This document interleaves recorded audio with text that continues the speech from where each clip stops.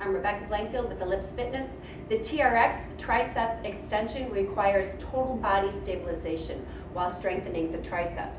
The triceps are a three-headed muscle that join at the elbow. They're an extensor muscle and they're the opposing muscle to the biceps. In order to set up for this move, you'll want to adjust your TRX straps so that they're mid-length.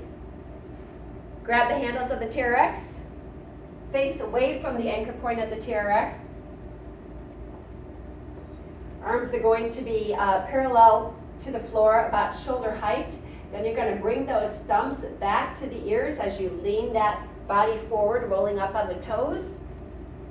And then extend the arms straight as you contract the triceps.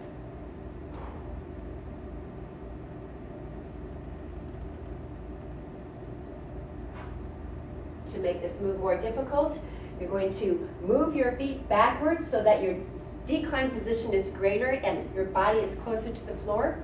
And to modify this move, you're going to walk forward so that your body is more upright and further from the floor, or you can modify this move by splitting your stance.